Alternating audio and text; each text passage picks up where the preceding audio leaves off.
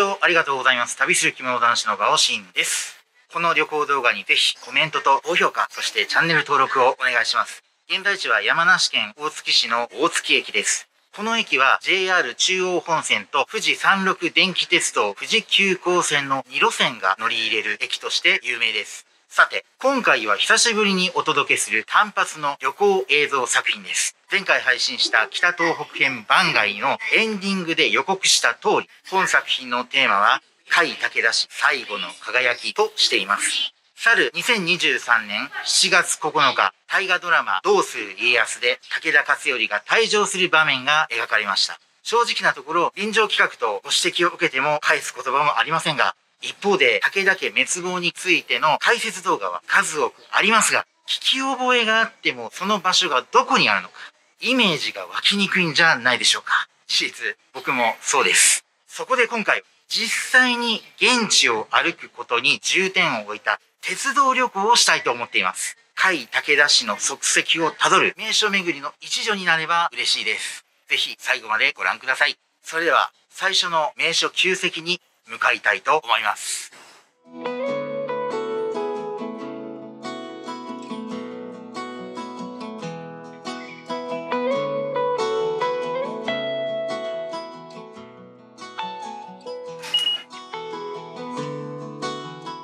駅舎の外に出ました。最初の名所旧跡は大月駅から約1キロの場所にあります。ちょっと雨が心配なんですけど。大月駅から約10分ほど歩きまして、下の方に桂川という川が流れています。そして、ちょうど真正面の方に、むき出しの岩肌が目を引く山が見えるんです。岩戸の山と言います。最初の名所旧跡は岩戸の山です。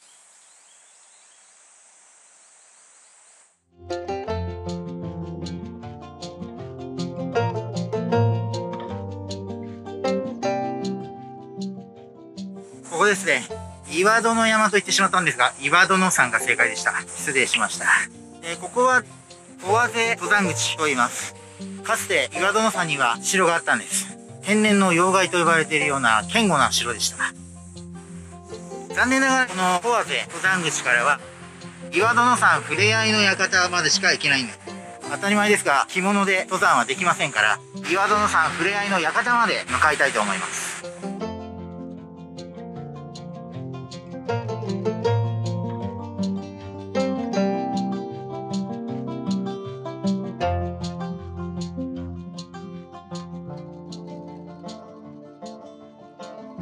岩園山の中腹にある丸山公園まで来ました。あちらを見ますと、門の向こう側、趣のある建物があると思うんですが、あちらが岩園山ふれあいの館です。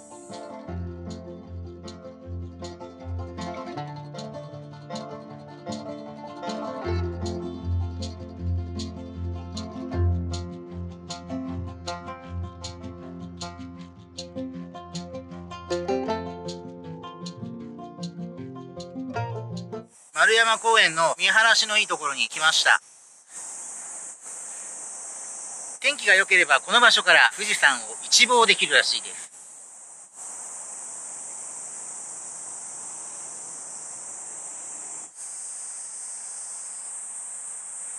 ところで、この岩殿山にあった岩殿城、武田勝頼が織田徳川連合軍との決戦に備え、籠城戦を予定していた城でした。しかし、家臣に小山田信繁という人物がいたんですけれども、土壇場で武田勝頼から違反するという事件が起きまして、結局武田勝頼がこの岩殿城に入ることはなかったそうです。冒頭で大月駅が中央本線と富士急行線の2路線が乗り入れる分岐駅だとお話ししました。個人的な意見なんですけれども、武田勝頼にとって大月駅や岩殿城があるこの軍内地方はある意味で彼の運命を決定づけた分岐点ではとそんな風に思えてなりません。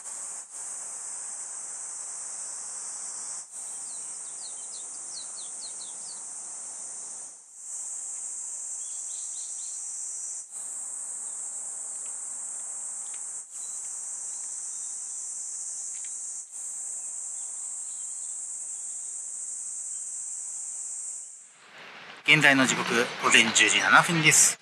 大月駅に戻ってきました。再び中央本線の列車に乗って次の名所旧跡に向かいたいと思います。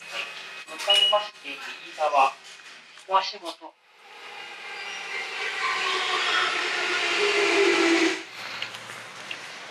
足元矢印に押して富士急行線乗り換えが立つチェーンをお下げく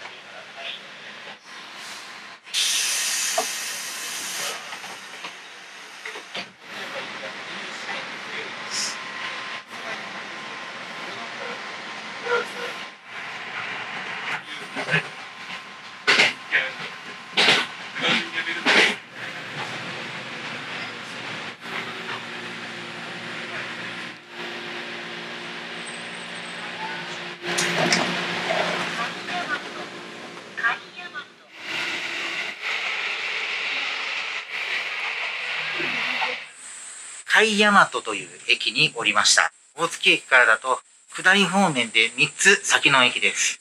お隣は勝沼ぶどう郷駅。YouTube では3年近く前の話なんですが、山梨県甲州市のワインと美味しいものを訪ねて、日帰りの旅行をした勝沼ぶどう郷駅。一つ手前の駅になります。話が変わるんですが、歴史の教科書で武田勝頼最後の戦いとして紹介されている天目山の戦い。この天目山というのは、実はこの海大和駅が最寄り駅なんです。もちろん当時鉄道はありませんから、現代の解釈でお話をすると、ここが最寄り駅となるんですけれども、最初の名称旧跡の最寄り駅だった大月駅、そして2番目であり、ここが最後です。2番目にして最後の名所旧跡がある海大和駅。ここで武田家がどのように終わっていったのか、解説動画だけではわからないリアルな現地の状況を一緒に見ていただければと思います。それでは、改札を抜けて探索を始めましょう。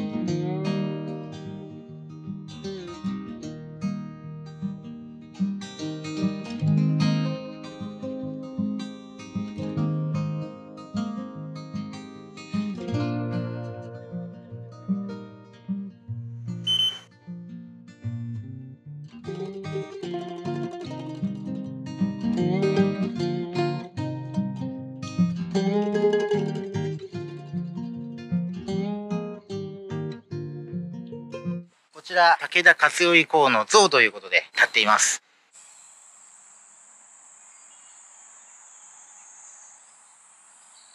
駅舎から歩いてほんの1分ぐらいのところにこの銅像立ってます。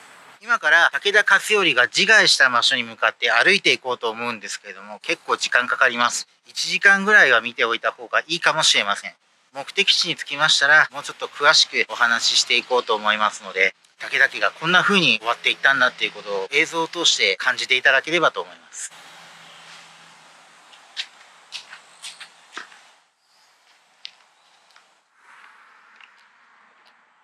ここは慶徳院入口という交差点です。この道を進んでいくと武田勝頼が自害したと言われている慶徳院があるんですけれども地図で調べているうちに武田氏とは関係ないんですがとても興味深い名所旧跡ありましたんで先にそちらをご紹介させていただいて慶徳院に向かいたいと思います。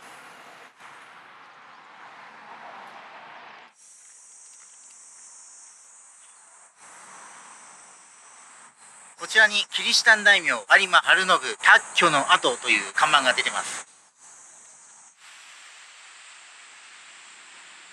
なんでかっていうと、キリシタン大名の有馬晴信、その後どうなったのか僕は全く知らなかったので、武田家が終焉を迎えた同じ場所で有馬晴信も最後を迎えているということにとても驚いて、それで先にご紹介をさせていただきました。ありましたね、ありました、ありました。すごくわかりやすいところにあった。これです。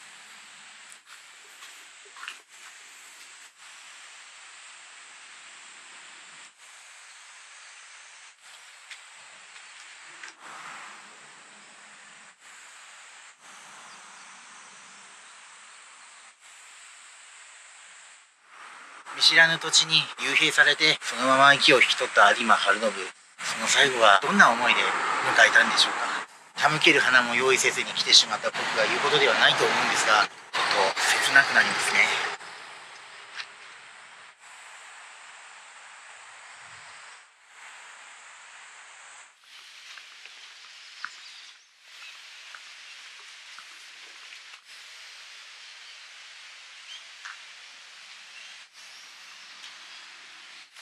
は武田勝頼最後の戦いと言われている天目山の戦いで最大の激戦地だったと言われている城を作り古戦場です。ご覧の通り、今は石碑が当たっているだけなんですが、簡単に僕の知っている範囲で説明をさせてください。この城を作り古戦場で最も活躍したと言われている武田家の武将がいます。その武将の名は小宮山智春と言います。天目山の戦いが始まるまで小宮山智春、勝頼からもあまり好かれていなかったらしくて、窒居謹慎、そういう状態だったらしいんです。しかし、いざ主君の命が危ないと聞きまして、言われるまま謹慎していて良いものかということで、戦場まで馳せ参じたと言われています。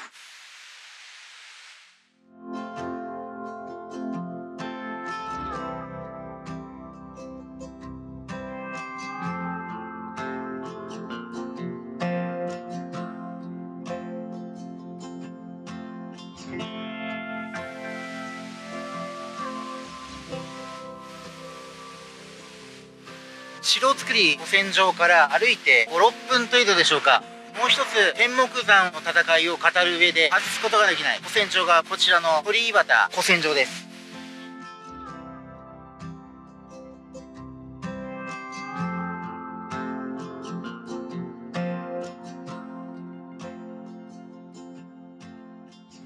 もう間もなく武田勝頼が最後を迎えたという慶徳院です。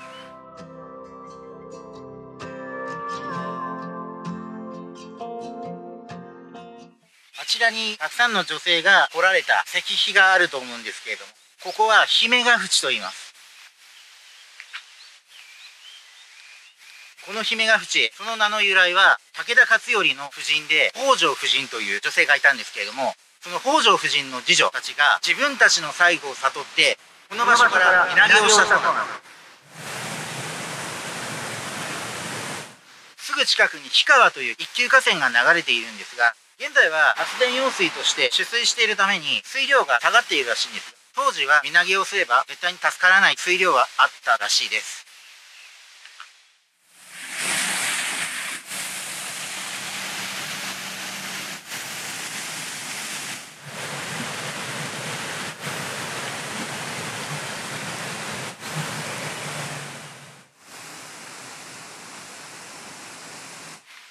が武田勝頼が自害したという慶徳院です。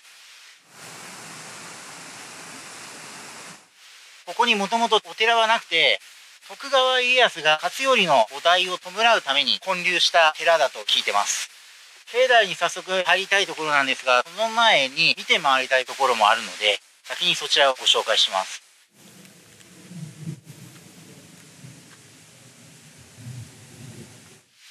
山門からほんの数秒の場所に首洗池という史跡を見つけました。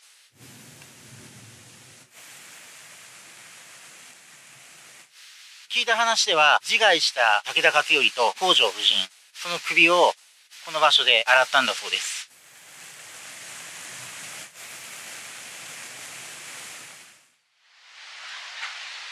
こちらと奥の方にお墓のようなものがあるんですけれどこれは武田勝頼と北条夫人の生涯史と呼ばれてます。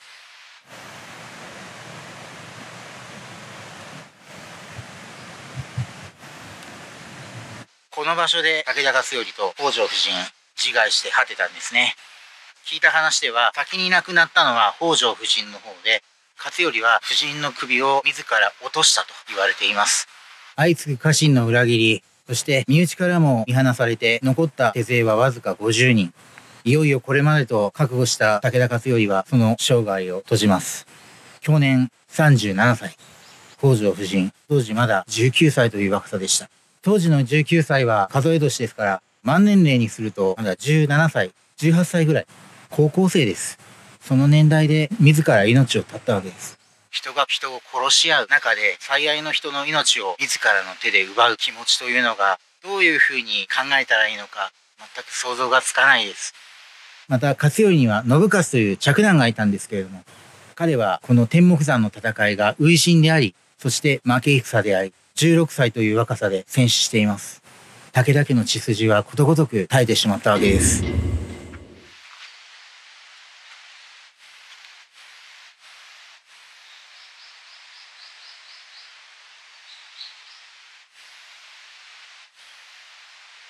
ご紹介した有馬春信発狂の後の時でもそうだったんですが、手向ける花を持参することなく心苦しい気持ちでいっぱいなんですけれども、せめて安らかにお眠りくださいという気持ちで手を合わさせていただきました。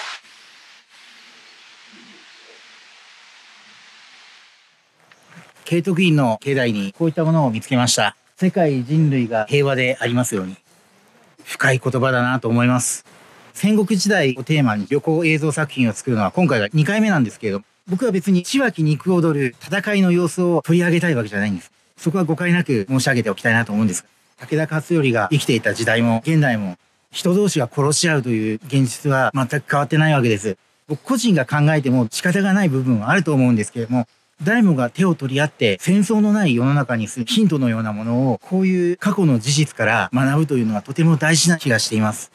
これを見ているあなたはどう思いますか？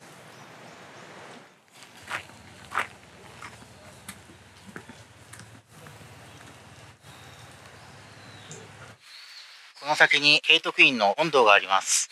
順番が逆になってしまったんですが、簡単にお参りをしていこうと思います。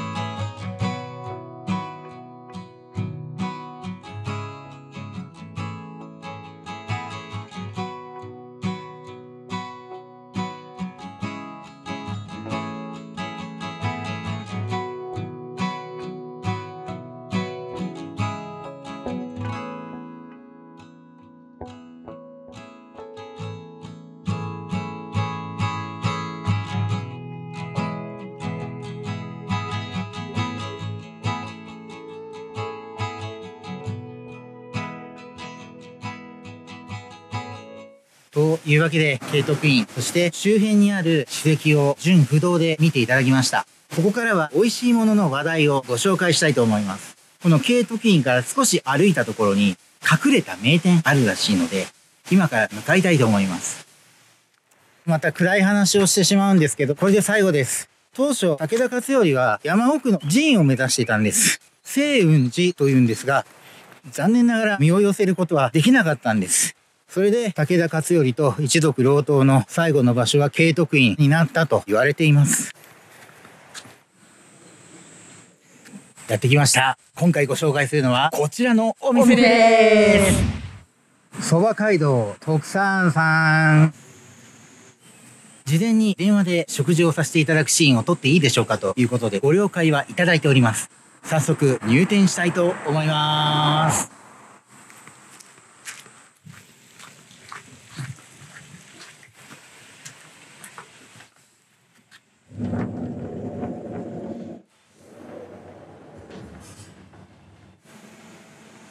鹿の剥製座敷のお席もあります。オーダーが決まりました。こちらの10割そば1150円。そしてこの鶏もつ煮も注文しました。鶏もつ味噌煮600円が来ました。見るからに美味しそうですね。もたもたしている間にお蕎麦も来ちゃいました。いただきます。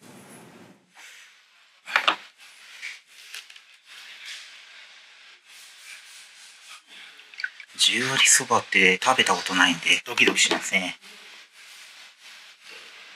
薬味があるんですけど箸を使いたいんですけどこのままいきます。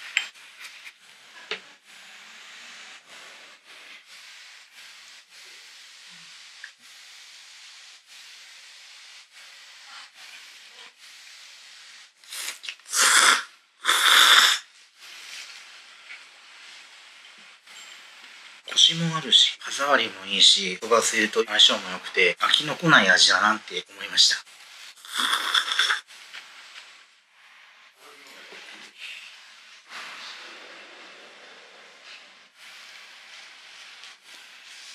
僕、砂肝大好きなんですけど、その砂肝が味噌の味をまとうことで、本来の味がさらに引き出されてる感じがします。めちゃくちゃうまいです。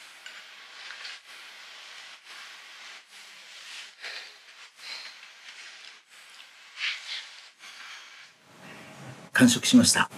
ごちそうさまでした。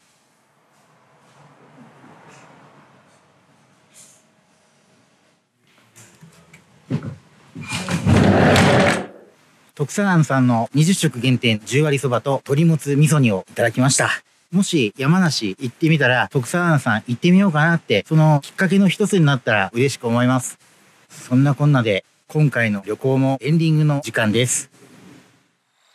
今回の旅行動画楽しんでいただけたでしょうか？ぜひコメントと高評価、そしてチャンネル登録をお願いします。説明が足りない部分は穏便に情報交換の場としてコメント欄を使っていただければと心から願っています。